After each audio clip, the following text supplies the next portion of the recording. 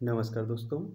तो चलिए हम लोग बात कर रहे थे कुछ महत्वपूर्ण क्वेश्चंस लिए हुए हैं और उनके विस्तार में हम लोग आंसर देख रहे हैं। याद रखिए इस तरह के हम लोग पाँच टेस्ट आपके ख़त्म कर चुके हैं और ये सभी टेस्ट आपके, फिर चाहे आपका आईएएस हो गया स्टेट पीसीएस हो गया, जिसमें आप U P P C S या M P P S C Bihar P C S जिस भी परीक्षा में इस प्रकृति के क्वेश्चंस बनेंगे आपके, उन सभी परीक्षाओं के लिए सभी क्वेश्चंस ये सभी टेस्ट और आपके बहुत ही ज़रूरी रहेंगे। और आप सभी जानते हैं कि इतना आपके पास जीएस हो, फिर चाहे हिस्ट्री हो जोग्राफी हो, पॉलिटी हो, आपकी इकोनॉमी हो या साइंस हो, हर तरह से आपको इतना मटेरियल दे चुका हूँ। अब मुझे लगता है कि आपको क्वेश्चन सॉल्व करवाना चाहिए, क्योंकि आप जानते हैं कि किताबें हज़ार पढ़ लें आप। अगर आपको क्वेश्चंस बनवा, बनाना नहीं आता है, क्वेश्चंस समझना नहीं आता है तो आप क्वेश्चंस गलत करते रहेंगे। तो हम लोग इसीलिए आपका देख रहे हैं कि क्वेश्चन सॉल्व करवा रहे हैं। आपकी शाम के आप देखते हैं कि आपकी वनडे एग्ज़ाम को ध्यान में रखते हुए क्वेश्चंस आते हैं और सुबह आपके सिविल सर्विस और स्टेट पीसीएस को प्रीलिम्स को ध्यान में रखते हुए आपके टेस्ट आ रहे हैं। और आप भी अगर वन डे एग्ज़ाम की तैयारी भी करते हैं, तब भी आप इस क्लास को देखिए। क्योंकि इसमें इतने विस्तार से पढ़ाया जाता है कि आपके कई क्वेश्चंस इससे भी सॉल्व होने की स्थिति में आप पहुँच जाएँगे। और आप बड़े बेहतर तरीके से समझते जाइए कि किस तरह से आपको क्वेश्चंस पढ़ना है, किस तरह से आपको सॉल्व करना है। क्योंकि देखता हूँ कि हम जब एग्ज़ाम हॉल में जाते हैं तो आते हुए भी हम लोग कई तरह के क्वेश्चंस गलत कर बैठते हैं। तो एक गलती हमें नहीं करनी है। और इसकी पीडीएफ आपको टेलीग्राम पर मिल जाएगी और आपके जो पुराने टेस्ट होते जाते हैं, जो पाँच क्लास ख़त्म हो गई हैं, वो आपकी test series for I S P C S के नाम से, जो आपकी प्ले लिस्ट सूची है, उसी में डले रहें, ठीक है? चलिए तो इसमें पहला क्वेश्चन हम लोग देखते हैं। क्या है क्वेश्चन हमारा? निम्नलिखित कथनों पर विचार करना है। निम्नलिखित कथनों पर विचार करना है। इसे आप लोग दो तरह से सॉल्व कर सकते हैं। अगर आपकी समझ अच्छी विकसित है, अगर आपने एन e पढ़ी है, और आप कुछ अच्छी लेवल लेवल पर पहुँच चुके हैं मैं पहले बोल चुका हूँ कि आप लोग एन e पढ़ लें समय रहते हुए, क्योंकि इसका कोई दूसरा विकल्प नहीं है आपके पास, ठीक है? और हमारी तरफ़ से भी आपका NCERT कवर e करवा दी गई है। तो आपको जो जो ज़रूरी है वही वही कवर की गई है। तो इसमें या तो आप लोग पहले इस पॉइंट को पढ़ लें, और यही पॉइंट है कि जो गल, गलत करवा देता है कई क्वेश्चंस इस क्वेश्चंस इस पॉइंट को आप लोग एक से दो बार पढ़ लिया करिएगा। क्या बोला है? भारत के लिए उन्नीस सौ इक्यासी और बयासी और उन्नीस सौ इक्यानवे से तिरानवे में दो अवसरों पर उभरते भुगतान संतुलन की समस्या का सामना करने में आईएमएफ कैडिट ने महत्वपूर्ण भूमिका निभाई है। ये आपका बिल्कुल सही है कथन। दूसरा कथन है, भारत का बाह्य ऋण, उसके आंतरिक ऋण से अधिक है। ये आपका गलत है क्वेश्चन क्या है गलत है कथन? इसमें पूछ क्या रहा है? उपयुक्त कथनों में से कौन सा कथन सही है? तो आप देख रहे हैं कि एक कथन इसमें सही है, दूसरा कथन गलत है। दूसरा कथन आखिर गलत क्यों है, उस पर भी बता देता हूँ आप लोगों को। क्योंकि आपको मालूम होगा कि जो भारत की आंतरिक ऋण है, इसके बाहर ऋण की तुलना में अधिक है हमारा ठीक है? इसलिए एक गलत है। इसमें एक शब्द आप देख रहे हैं आई एम एफ़ क्या? I M I M F याद रखिए, आपके जो अंतर्राष्ट्रीय संगठन है और राष्ट्रीय संगठन है, इनके बारे में मैं विस्तार से बात कर चुका हूँ। एक एक क्लास ली हुई है सभी संगठनों से संबंधित। तो आप लोग महत्वपूर्ण संगठनों के नाम से जो प्लेलिस्ट सूची है, उसमें जाकर देख लें आप लोग। अगर आपको 200 से 250 शब्द भी लिखने होंगे किसी संगठन पर तो आप उसे भी लिख सकते हैं। इतने विस्तार से आपको पढ़ा दिए गए हैं। ठीक है बस आपको प्लेलिस्ट सूची में जाकर देखना है। सब कुछ उपलब्ध करा चुका हूँ। बस एडजस्ट करना है और आपको। आईएमएफ के बारे में अगर कुछ सामान्य जानकारी दे दें तो इसकी स्थापना आपको 1945 में देखने को मिलेगी। एक सौ नवासी मेंबर इसमें कंट्री यानी कि सदस्य एक सौ नवासी है। और अगर इसके हेडक्वार्टर की बात करूँ तो वॉशिंगटन डीसी में इसका हेडक्वार्टर आपको देखने को मिलेगा। ठीक है? तो इसमें केवल आपका ए ऑप्शन बिल्कुल सही था। चलते हैं अगले क्वेश्चन की तरफ़ हम लोग। क्या है क्वेश्चन हमारा? विश्व स्वास्थ्य दिवस की थीम क्या है? विश्व स्वास्थ्य दिवस की थीम क्या है? तो इसमें आप लोग देखेंगे डब्ल्यू एच ओ यही जारी कर इसकी 2019 की अगर हम थीम की बात करें तो इसकी 2019 की थीम आपको देखने को मिलेगी सार्वभौमिक स्वास्थ्य कवरेज। ये आपकी 2019 की है। कब की? 2019 की। और 2020 की बात करें तो supported support nurses and midwives ये आपकी 2020 की है। अब आपके दिमाग में सवाल आता है कि कब मनाया जाता है ये आखिर विश्व स्वास्थ्य दिवस? तो आप सभी को मालूम होना चाहिए कि सात अप्रैल को मनाया जाता है। कब? सात अप्रैल को। ठीक है? और डब्ल्यू की बात करें अगर वर्ल्ड हेल्थ ऑर्गेनाइजेशन क्योंकि इसकी स्थापना के उपलक्ष्य में ही इसे मनाया जाता है। सात अप्रैल 1948 को आपके जो डब्ल्यू वर्ल्ड हेल्थ ऑर्गेनाइजेशन है, विश्व स्वास्थ्य संगठन, इसकी स्थापना की गई थी। अगर इसके हम लोग हेडक्वार्टर की बात करें तो जेनेवा स्विट्जरलैंड में आपको देखने को मिलेगा इसका हेडक्वार्टर ठीक है? चलिए अगले क्वेश्चन की तरफ़ हम लोग चलते हैं। क्या है क्वेश्चन हमारा? निम्नलिखित में से कौन से संस्थान विश्व बैंक समूह का हिस्सा है? याद रखिए इन सबके बारे में मैंने विस्तार से पढ़ा दिया गया है। तो आप लोग टेंशन मत लीजिए, वहाँ जाकर देख लीजिए। क्योंकि आपका कई परीक्षाओं में और सिविल सर्विस के प्रीलिम्स में तो आप लोग देखते होंगे कि हर साल इस तरह के क्वेश्चन आते हैं। एक इंडेक्स से बन जाते हैं, एक आपके इस तरह के जो संगठन है, इनसे भी बन जाते हैं। तो इसमें क्या पूछ रहा है आपका? निम्नलिखित में से कौन से संस्थान विश्व बैंक समूह का हिस्सा है? यानी कि वर्ल्ड बैंक का। अंतर्राष्ट्रीय पुनर्निर्माण विकास बैंक। ये बिल्कुल सही बात है। बहुपक्षीय निवेश गारंटी एजेंसी, ये भी सही है। अंतर्राष्ट्रीय मुद्रा कोष ये नहीं है आपका। इसमें पूछ क्या रहा है? नीचे दिए कि वो गए कूट का प्रयोग कर सही उत्तर चुनना है। तो आप जान रहे हैं कि एक और दो सही है इसमें। तीसरा गलत है। क्या है? तीसरा गलत है। जो आपका पुनर्निर्माण और विकास बैंक के लिए अंतर्राष्ट्रीय बैंक, ये सभी आपके विश्व बैंक के जो समूह है, पाँच संगठन है इसमें। पहला, पुनर्निर्माण और विकास के लिए अंतर्राष्ट्रीय बैंक। दूसरा, आपका अंतर्राष्ट्रीय विकास संघ। तीसरा, अंतर्राष्ट्रीय वित्त निगम। और चौथा, आपका बहुपक्षीय निवेश गारंटी एजेंसी। और पांचवा है आपका निवेश संबंधी विवादों के निपटारे के लिए अंतर्राष्ट्रीय केंद्र। ठीक है? तो इसमें क्या होगा आपका? बी ऑप्शन सही होगा। एक बार आप लोग उन संगठनों को पढ़ ज़रूर लें, क्योंकि इनसे क्वेश्चंस पूछा जाता है और बड़े विस्तार से आपको पढ़ाया गया। निम्नलिखित में से कौन सी रिपोर्ट? रिपोर्टें विश्व बैंक द्वारा विकासित नहीं की जाती हैं। अब समझ में आया आपको? इस पॉइंट को बड़े ध्यान से नहीं की जाती हैं।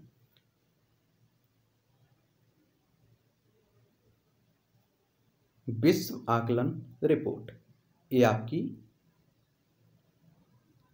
विश्व बैंक द्वारा नहीं जारी की जाती। Ease of doing business report ये भी आपकी जा, जारी की जाती है। विश्व विकास रिपोर्ट ये भी जारी की जाती है। लेकिन आपकी वैश्विक आकलन रिपोर्ट आपकी विश्व बैंक के द्वारा नहीं जारी की जाती है। क्योंकि ये वैश्विक आकलन रिपोर्ट है जो संयुक्त राष्ट्र आपदा जोखिम न्यूनीकरण कार्यालय द्वारा जारी की जाती है जिसे आप लोग U N I S D R के द्वारा इसे आकलन को इस वैश्विक आकलन रिपोर्ट को विकासित किया जाता है। फिर से सुन लीजिए, कौन करता है वैश्विक आकलन रिपोर्ट विकासित? संयुक्त राष्ट्र आपदा जोखिम न्यूनीकरण कार्यालय। ठीक है? और बाकी दो आपकी, ए विश्व बैंक आपकी जारी करती है। तो इसमें सही बताना है हमें। तो सही कौन सा है? यानी कि आपका एक कूट गलत है, क्योंकि आप जान रहे हैं कि पहली रिपोर्ट नहीं जारी की जाती है। अगर आपसे पूछ लेता कि जारी की जाती है तो आप जानते हैं कि दो और तीन सही होता है इसमें। लेकिन इसमें नहीं पूछा है तो आपने पहला, यानी कि केवल एक सही नहीं है। ठीक है? बड़े ध्यान से पढ़ लिया करिए क्वेश्चंस को, क्योंकि आप जान रहे हैं कि आपको फंसाने के लिए इस तरह के क्वेश्चंस पूछे जाते हैं कि आप आते हुए भी गलत कर बैठते हैं। समझ में आए विश्व बैंक समूह द्वारा विकासित रिपोर्टों की अगर हम बता दें, कुछ तो विश्व विकास रिपोर्ट हो गई, वैश्विक आर्थिक संभावनाएँ, व्यापार सुगमता रिपोर्ट, वैश्विक वित्तीय विकास रिपोर्ट, ये सभी आपकी विश्व बैंक जारी करती है, ठीक है?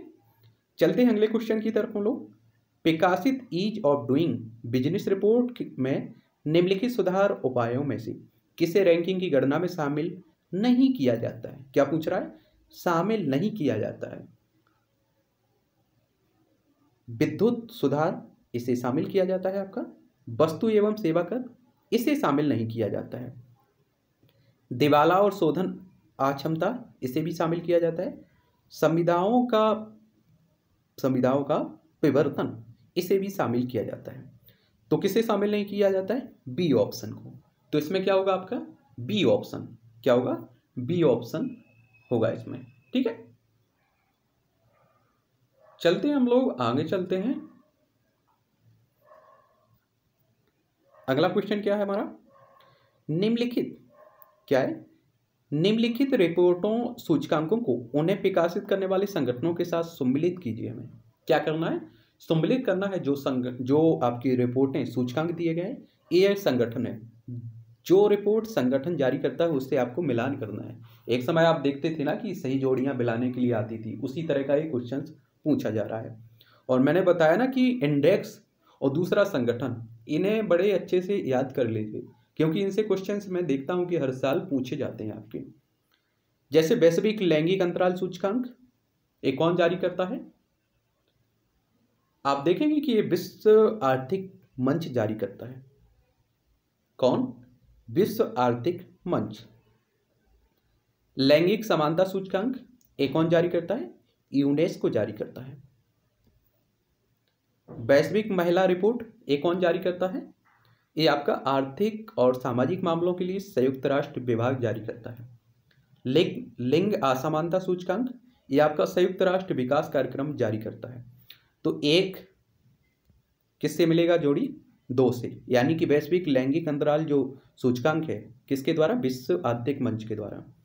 लैंगिक समानता सूचकांक, दो क्योंकि यूनेस्को जारी करता है तो एक। वैश्विक महिला रिपोर्ट सूचकांक, ये आपका चौथरे से मिलेगा, यानी कि तीन चार से सही होगा। और लैंगिक असमानता सूचकांक, चार तीन। तो इसमें आपका कौन सा सही चुनना है हमें? तो इसमें आपका होगा डी ऑप्शन सही। क्या होगा? डी ऑप्शन सही होगा। पीडीएफ में अच्छी तरह से देख लीजिए और उसके बाद आप लोग मिलाते रहिए, ठीक है? अच्छे से। चलते हम लोग अगले क्वेश्चन की तरफ़। क्या है क्वेश्चन हमारा? निम्नलिखित कथनों पर विचार करना है हमें। निम्नलिखित कथनों पर क्या करना है? विचार करना है। बीमा की पहुँच को किसी दिए गए वर्ष में हुए बीमा के प्रीमियम प्रीमियम से कुल आबादी में आबादी के अनुपात के रूप में परिभाषित किया जाता है। क्या यह कथन सही है? बिल्कुल नहीं। बीमा घनत्व को किसी दिए गए वर्ष में हुए बीमा के प्रीमियम को सकल घरेलू उत्पाद, जीडीपी के अनुपात में, के रूप में परिभाषित किया जाता है। ये भी आपका बिल्कुल गलत है। क्या पूछ रहा है इसमें? उपयुक्त कथनों में से कौन सा कथन सही है? तो आप देख रहे हैं कि ना तो एक सही है और ना ही दो सही है। दोनों कथन इसमें गलत हैं।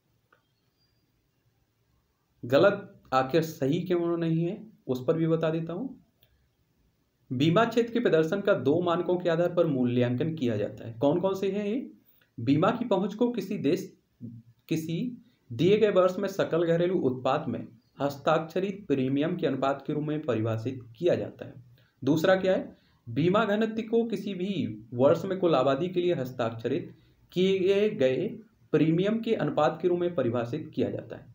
अंतर्राष्ट्रीय तुलना में सुविधा के हेतु उसे अमेरिकी डॉलर में मापा जाता है आपका। ठीक है? तो इसमें आपके दोनों कथन गलत थे। तो क्या ऑप्शन होगा? डी ऑप्शन ना तो एक सही था और ना ही दो सही था। चलते हम लोग अगले क्वेश्चन की तरफ़। समर्थन के लिए सकल मापन समाचारों में रहता है आप लोग देखते रहते हैं। या निम्नलिखित निम्नलिखित में से किससे संबंधित है आखिर? ये आपका विश्व व्यापार संगठन से संबंधित है। किससे? विश्व व्यापार संगठन से संबंधित है। याद रखिए, मैं कई बार बता चुका हूँ कि संगठन हम लोगों ने सभी पढ़ लिए हैं। और बहुत अच्छे से पढ़ चुका हूँ। तो अच्छे से याद रख लीजिए। इसकी अगर विश्व व्यापार संगठन की बात करूँ तो एक जनवरी उन्नीस सौ पंचानवे को इसकी स्थापना की गई थी। इसका जो हेडक्वार्टर आप देखेंगे जेनेवा स्विट्जरलैंड में आपको देखने को मिलेगा। कहाँ? जेनेवा, स्विट्जरलैंड में। ठीक है? ये कुछ पॉइंट है इन्हें याद रखिएगा आप लोग, क्योंकि इनसे हर बार आप देखते हैं क्वेश्चंस बनते रहते हैं।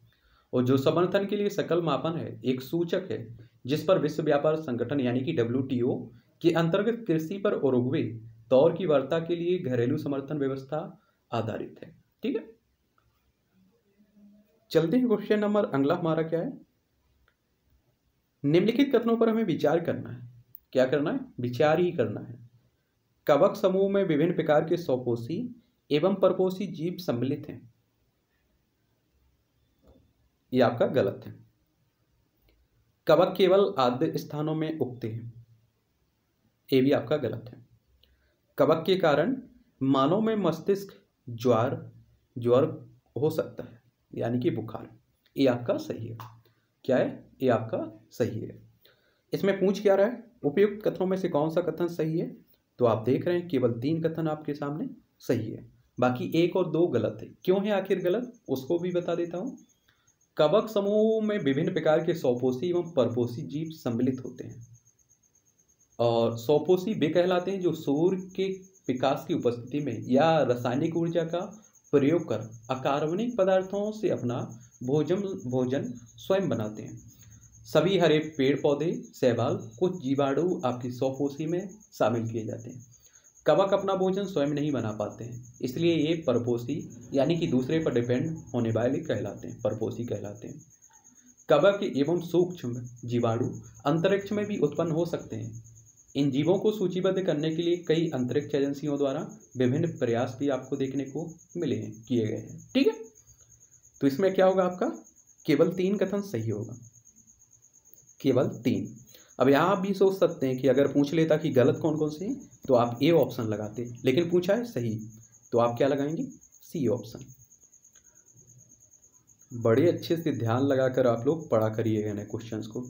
क्योंकि देखते हैं एक ही दो क्वेश्चंस गलत हुए कट ऑफ़ से हम लोग बाहर निकल सकते हैं। क्वेश्चन है हमारा, निम्नलिखित कथनों पर हमें विचार करना है। क्या करना है? विचार करना है। राष्ट्रीय कंपनी कानून न्यायाधिकरण का गठन भारतीय दिवाला और शोधन आज क्षमता संहिता 2016 के तहत किया गया। गलत है। राष्ट्रीय कंपनी कानून न्यायाधिकरण वित्तीय स्पर्धा आयोग द्वारा जारी किसी भी दिशा निर्देश के खिलाफ अपील को सुनने और मामलों का निपटान करने के लिए अपीलीय न्यायाधिकरण है। ये आपका सही है। इसके अध्यक्ष की नियुक्ति उच्चतम न्यायालय के कॉलेजियम द्वारा होता है। ये भी आपका गलत है। इसमें पूछा क्या है? सही कथन हमें बता रहे हैं। तो आप देख रहे हैं कि केवल दो कथन सही है। इसमें एक और तीन गलत है। आखिर एक तीन गलत क्यों है? उसको भी बता देता हूँ। राष्ट्रीय कंपनी कंपनी कानून, अपीलीय न्यायाधिकरण का गठन कंपनी अधिनियम जो 2013 था, इसकी धारा 410 के तहत राष्ट्रीय कंपनी कान कंपनी कानून, न्यायाधिकरण के आदेशों के विरुद्ध अपीलों की सुनवाई के लिए किया गया है। किसके? 2016 2013 के, ठीक है? और अगर दूसरे कथन की बात करूँ तो ये आपका सही है। तीसरा गलत क्यों है? इसे भी देख लीजिए। कंपनी अधिनियम की धारा 410 के अनुसार चेयर पर्सन या फिर अध्यक्ष की नियुक्ति भारत के जो मुख्य न्यायाधीश होते हैं, उनके परामर्श के बाद की जाएगी। भारत के मुख्य न्यायाधीश के परामर्श के बाद की जाएगी, ठीक है? तो इसमें आप देखेंगे केवल दो कथन सही था। यानी कि आपका डी ऑप्शन सही था। डी ऑप्शन सही था। क्वेश्चन है हमारा, निम्नलिखित कथनों पर विचार करना है। क्या करना है? विचार करना है।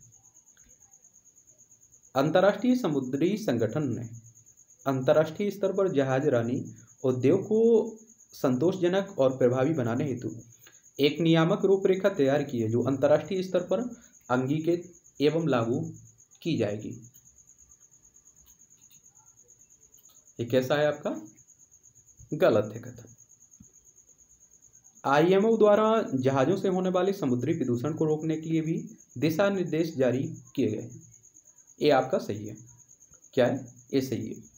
पूछा क्या है इसमें? उपयुक्त कथनों में से कौन सा कथन सही है? तो आप देख रहे हैं केवल दो कथन आपका सही है। पहला कथन इसमें गलत है। पहला गलत क्यों है? इस पर भी बात कर लेता हूँ। अंतर्राष्ट्रीय समुद्री संगठन ने अंतर्राष्ट्रीय स्तर पर जहाज़ रानी उद्योग को संतोषजनक और प्रभावी बनाने हेतु एक नियामक रूपरेखा तैयार की है, जो अंतर्राष्ट्रीय स्तर पर अंगीकृत एवं लागू की जाएगी। इसका क्रियान्वयन राष्ट्र राज्यों से संबंधित होगा। किससे? राष्ट्र राज्यों से संबंधित होगा। ठीक है? और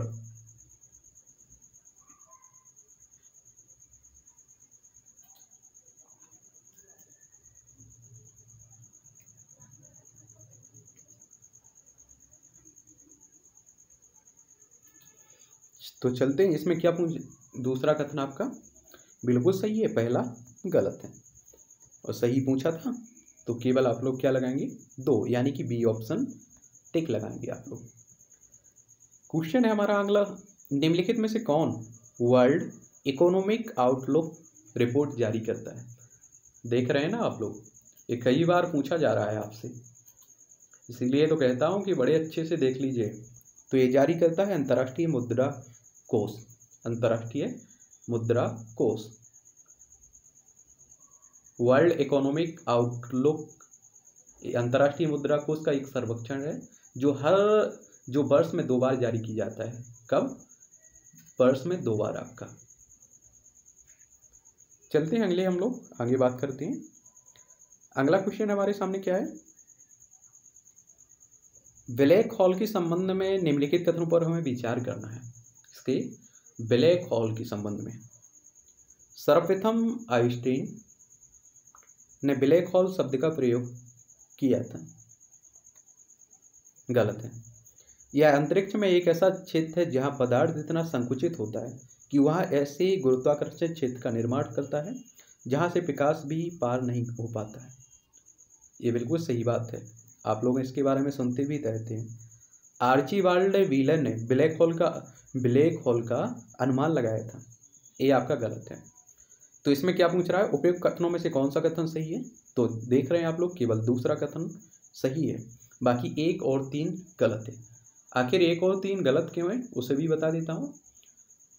अभी आपने कुछ ही दिन पहले आपने देखा होगा कि इवेंट हो, होराइजन टेलीस्कोप प्रोजेक्ट के वैज्ञानिकों ने ब्लैक होल की पहली तस्वीर जारी की थी। ब्लैक होल शब्द का अगर सर्वप्रथम बात करें तो 1960 के मध्य अमेरिकी वैज्ञानिक थे जॉन आर्ची बाल्ट व्हीलर। इन्होंने सबसे पहले बात की थी इसके बारे में इस शब्द की, ठीक है? और 1915 में अल्बर्ट आइंस्टीन ने ब्लैक होल के सिद्धांत का प्रतिपादन किया था। तो ब्लैक होल शब्द का सर्वप्रथम किसने उपयोग किया था? 1960 में मध्य अमेरिकी वैज्ञानिक थे जॉन आर्चीवाल्ड बीलर। और वर्ष 1915 में अल्बर्ट आइंस्टीन ने ब्लैक होल के सिद्धांत का प्रतिपादन किया था। इसे आप लोग याद रखिए। इसमें क्या लगाएँगे आप लोग? टिक। तो आप सी ऑप्शन लगाएँगे, क्योंकि दूसरा कथन केवल सही था। चलते हम लोग अगले क्वेश्चन की तरफ़। क्या है क्वेश्चन हमारे सामने? विशेष आर्थिक क्षेत्र एस ई जेड के संदर्भ में निम्नलिखित कथनों पर हमें क्या करना है? विचार करना है। भारत में विशेष आर्थिक क्षेत्र विदेशी व्यापार नीति के प्रावधानों के अंतर्गत संचालित है। गलत है। इसके प्रमुख उद्देश्यों में से एक है वस्तुओं और सेवाओं के आयात निर्यात को बढ़ावा देना। ये भी आपका गलत है। उपयुक्त कथनों में से कौन सा कथन सही है? तो ना तो एक सही है और ना ही दो सही है, यानी कि दोनों गलत हैं इसमें। तो आखिर सही क्या होगा? उस पर भी बात कर लेता हूँ। भारत में सेज, यानी कि आप कह सकते हैं जो विशेष आर्थिक क्षेत्र है, इसे वर्ष 2002 सन 2000 से 2006 तक विदेशी व्यापार नीति के प्रावधानों के अंतर्गत संचालित किया गया। इसके साथ साथ विभिन्न कानूनों द्वारा कर राजस्व को प्रभावी बनाने का प्रयास भी किया गया। वर्तमान में आप देखेंगे सेज, यानी अधिनियम 2005 के अंतर्गत संचालित है। सेज का मुख्य उद्देश्य की बात करें तो आर्थिक गतिविधियों वस्तु और सेवाओं के निर्यात, आयात को नहीं, निर्यात को केवल बात कर रहा हूँ, ठीक है? इसमें निर्यात शामिल किया जाता है, आयात को नहीं। तथा घरेलू एवं विदेशी निवेश को बढ़ावा देना, रोज़गार रोज़गार के अवसरों में वृद्धि करना और आधारभूत सुविधाओं का विकास करना इसका मेन उद्देश्य है। तो इसमें क्या होगा आपका? डी ऑप्शन क्योंकि आप देख रहे थे ना तो एक सही था कथन और ना ही दो। चलते हैं हम लोग अगले क्वेश्चन की तरफ़। क्या है क्वेश्चन हमारा? क्वेश्चन है हमारे सामने। मंडी फ़सलों के न्यूनतम समर्थन मूल्य के। निर्धारण में कृषि लागत एवं मूल्य आयोग। द्वारा निम्नलिखित में से किन कारकों पर विचार किया जाता है? इससे आपका क्वेश्चन कई बार बन चुका है, इस तरह के क्वेश्चन तो आप बड़े ध्यान से इस क्वेश्चन को, इस तरह के जो भी क्वेश्चन हो, उन्हें सॉल्व करिएगा, ठीक है? इसमें आप मांग एवं आपूर्ति को भी ध्यान रखा जाता है। घरेलू और अंतर्राष्ट्रीय दोनों बाजारों में मूल्य प्रवृत्तियाँ भी ध्यान में रखी जाती हैं। और अंतर फ़सल मूल्य क्षमता, इसे भी शामिल किया जाता है। कृषि और गैर कृषि के बीच व्यापार की शर्तें, इसे भी शामिल किया जाता है। यानी कि इन चारों को शामिल किया जाता है आपका। क्या? इन चारों को शामिल किया जाता है आपका।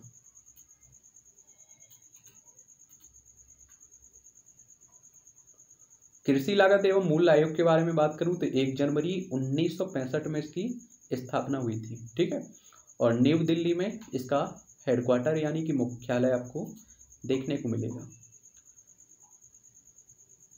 एक समन्वित एवं संतुलित मूल ढांचा तैयार करने के उद्देश्य से गठित कृषि लागत एवं मूल आयोग का काल तेईस फ़सलों के न्यूनतम समर्थन मूल्य पर परामर्श देना है। और याद रखिए, इसमें एक बात और बता देता हूँ। समय समय पर ये फ़सलें बदलती रहती हैं। इनमें आगे जुड़ती भी रहती हैं और हटती रहती हैं। तो आप लोग करंट से जुड़े रहिए। तो आप को मालूम चलता रहेगा। और इसमें एक और बात याद रखा करिए, क्योंकि देखते हैं कि कभी क्या होता है कि जो भी बदलते रहते हैं आंकड़े तो आपको इसलिए तो कहा कहता हूँ कि अपडेट बना रहिए। एक न्यूज़पेपर कम से कम पढ़ते रहिएगा दिन भर में ठीक है? इसके अधिकार क्षेत्र के अंतर्गत आने वाले विभिन्न घटकों में उत्पादन लागत न्यूनतम समर्थन मूल्य निर्धारित करने के लिए अति महत्वपूर्ण कारक है। और आयोग मूल्य के अतिरिक्त मांग और आपूर्ति घरेलू अंतर्राष्ट्रीय बाज़ार में कीम, कीमतों की प्रवृत्ति अंतर फ़सल मूल्य में क्षमता कृषि एवं गैर कृषि क्षेत्र के बीच व्यापार की शर्तें, उस वस्तु के एमएसपी का उपभोक्ताओं पर प्रभाव, भूमि एवं जल जैसे प्राकृतिक संसाधनों के समुचित उपयोग का भी ध्यान रखता है। और याद रखिए, इसमें क्या होता है मूल नीति लागत जोड़ पर आधारित नहीं होती है। और इसका न्यूनतम समर्थन मूल्य का क्या रहता है कि फ़सल जब बुआई होती है तो उससे पहले ही इसका निर्धारण कर दिया जाता है। यानी इससे क्या होता है, किसान सुरक्षित रहते हैं।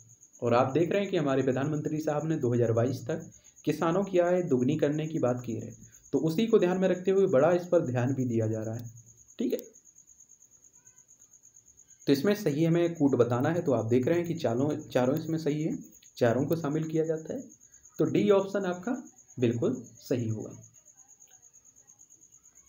क्वेश्चन है हमारे सामने, अगला। वचत एवं वचत और पूंजी निर्माण की। उच्च दर के बावजूद भारत में निम्न विकास दर का, के मुख्य कारण क्या है?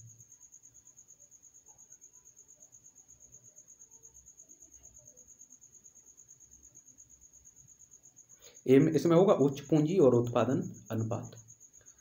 वृद्धिशील पूंजी उत्पादन अनुपात एक अक्सर इस्तेमाल किया जाने वाला साधन है, जो अर्थव्यवस्था में किए गए निवेश के स्तर और सकल घरेलू उत्पाद में परिणामी जो वृद्धि होती है, इसके बीच के संबंध को बताती है।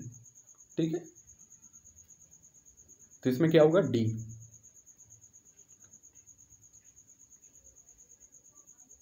अगला क्वेश्चन हमारे सामने। क्या है? सीमांत निधि लागत पर आधारित उधार दर के संदर्भ में निम्नलिखित कथनों पर विचार करना है हमें। क्या करना है? विचार करना है। सीमांत निधि लागत पर आधारित उधार दर किसी बैंक की न्यूनतम ब्याज दर को संदर्भित करती है, जिसमें कम रहने पर वह उधार नहीं दे सकता है। ये आपका बिल्कुल सही कथन है। यह भारतीय रिज़र्व बैंक द्वारा तय की जाती है। ये भी आपका सही है। रिज़र्व बैंक ने आधार दर से एमसीएलआर में परिवर्तित करने का फैसला किया, क्योंकि सीमांत निधि पर निधि लागत पर आधारित दरें नीतिगत दरों में बदलाव के प्रति अधिक संवेदनशील होती हैं। ये आपका बिल्कुल गलत है। आपको क्या पूछ रहा है इसमें? सही कथन बताना है। तो आप देख रहे हैं, एक और दो कथन आपका सही है। लेकिन आप देख रहे हैं कि तीसरा कथन गलत है। तीसरा कथन आखिर गलत क्यों है? उस पर भी बात करता हूँ।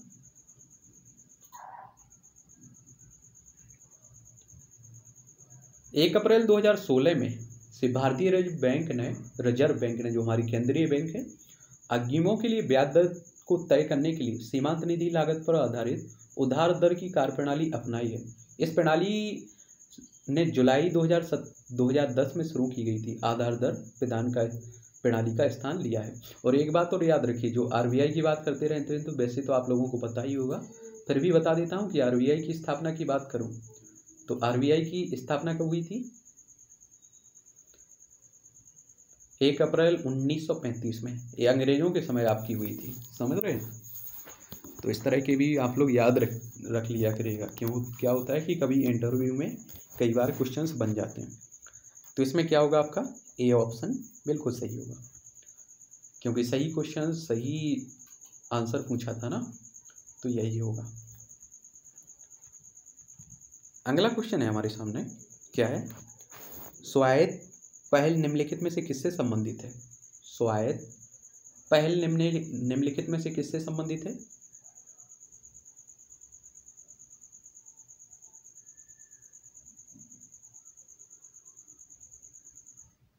ये आपकी यह स्टार्ट अप्स को बढ़ावा देने हेतु एक पहल है आपकी। क्या बी ऑप्शन सही है? स्वायत्त स्टार्टअप्स को बढ़ावा देने वाली एक पहल है। स्वायत्त गवर्नमेंट ई मार्केट प्लेस पर ई ट्रांस, ट्रांजेक्शन के माध्यम से स्टार्टअप महिला और युवाओं को बढ़ावा देने के लिए शुरू की गई है आपकी। स्वायत्त भारतीय उद्यमशीलता पारिस्थितिकी तंत्र के प्रमुख हितधारकों को राष्ट्रीय उद्यम, portal government, e market place के साथ जोड़ने का काम करेगा। तो इसमें आपका बी ऑप्शन बिल्कुल सही है। अगला क्वेश्चन है हमारे सामने, भारतीय रिज़र्व बैंक के विदेशी मुद्रा कोष में निम्नलिखित में से क्या क्या शामिल किया है? क्या पूछ रहा है? भारतीय रिज़र्व बैंक के विदेशी मुद्रा कोष में निम्नलिखित में से क्या क्या शामिल है? आपको बताता हूँ ना कि जब आपके पास अगर दो हज़ार का नोट है और आपको भरोसा नहीं रहा है तो आप आरबीआई के पास जा सकते हो कह सकते हैं कि हमें भरोसा नहीं है इस नोट पर। तो वो आपको या तो हार्ड करेंसी में दे देगा या उतना सोना दे देगा दो हज़ार रुपये का। ठीक है? गोल्ड। तो इसमें आपका देखेंगे विदेशी मुद्रा संपत्ति, ये शामिल रहता है। विशेष आहरण अधिकार, इसे भी शामिल किया जाता है। विदेशों से लिया गया ऋण, इसे नहीं शामिल किया जाता है। रिज़र्व टेंट ट्रेंच स्थिति, इसे भी आपका शामिल किया जाता है। नीचे दिए गए कूट का प्रयोग कर सही उत्तर चुनना है तो आप देख रहे हैं कि एक, दो और चार कूट आपका कथन सही है एक तरह से।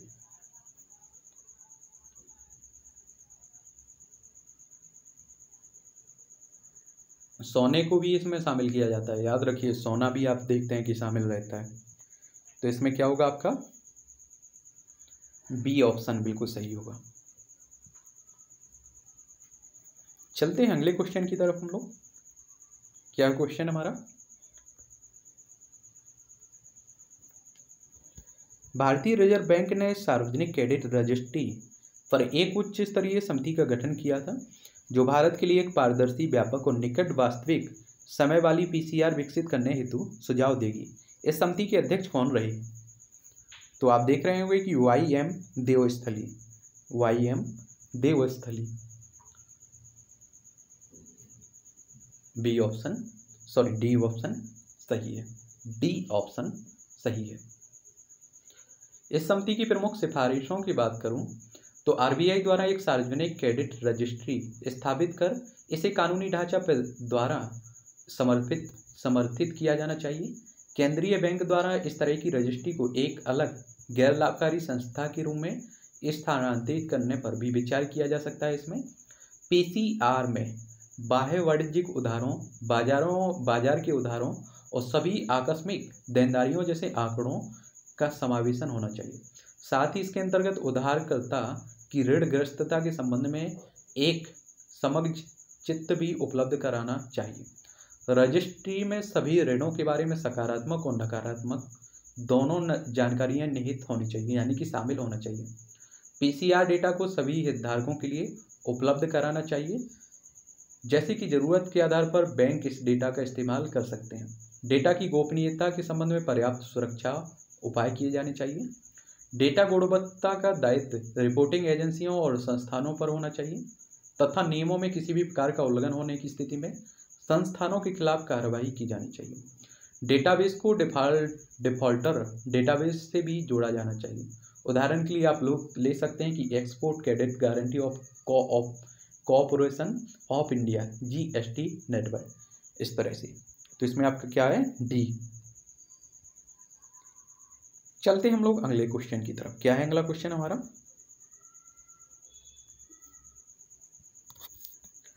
सॉफ्टवेयर उत्पादों पर राष्ट्रीय नीति 2019 के संदर्भ में निम्नलिखित कथनों पर हमें विचार करना है। क्या करना है? विचार करना है।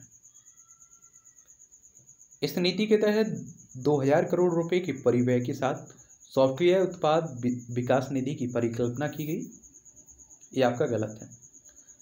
इसका एक लक्ष्य एक स्थायी और भारतीय सॉफ्टवेयर उत्पाद उद्योग के निर्माण को प्रोत्साहन करना जिससे वर्ष 2025 तक वैश्विक सॉफ्टवेयर उत्पाद बा, बाज़ार में भारत की हिस्सेदारी में दोगुना बढ़ोतरी पर तक पहुँचा जा सकता है।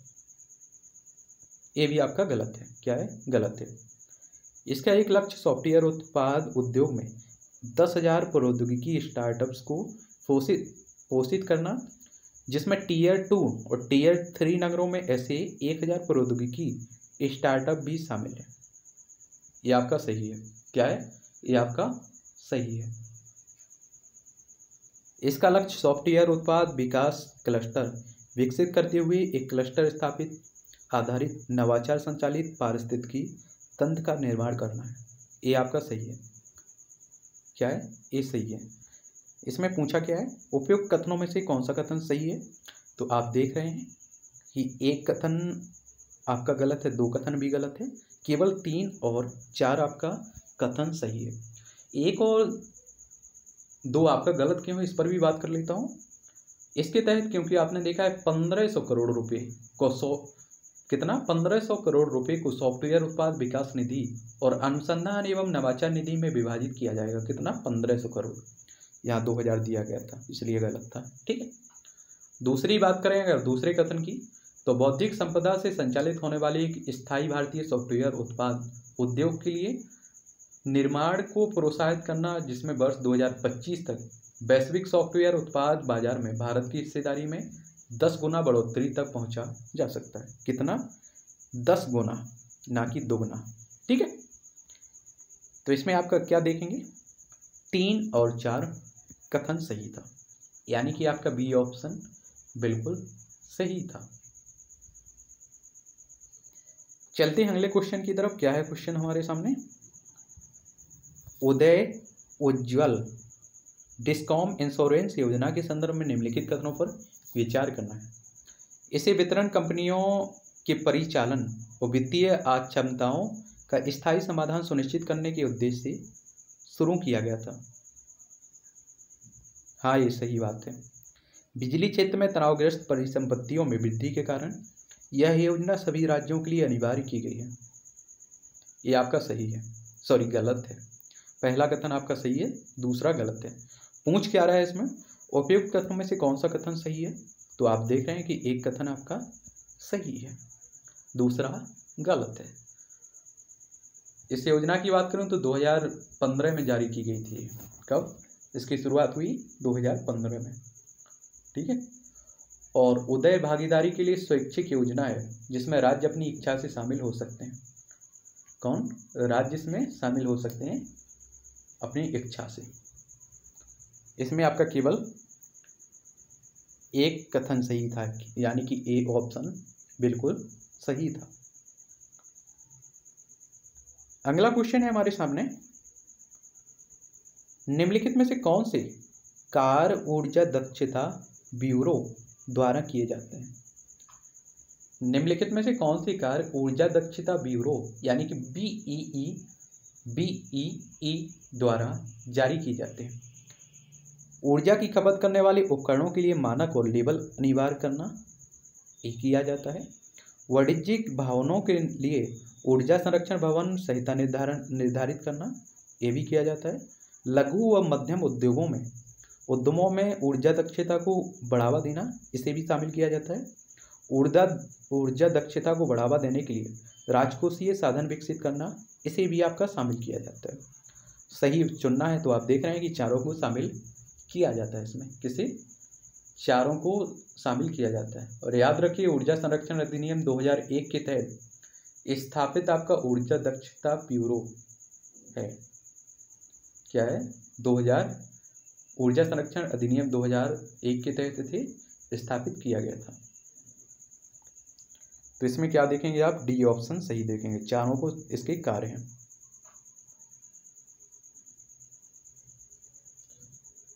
चलते हैं अगले क्वेश्चन की तरफ़। क्या है क्वेश्चन हमारा? वैश्विक ऊर्जा तथा CO2 यानी कि कार्बन डाइऑक्साइड स्थिति रिपोर्ट जारी कौन करता है? एक कहता है आपका अंतर्राष्ट्रीय ऊर्जा एजेंसी द्वारा। अंतर्राष्ट्रीय ऊर्जा एजेंसी द्वारा जारी की जाती है।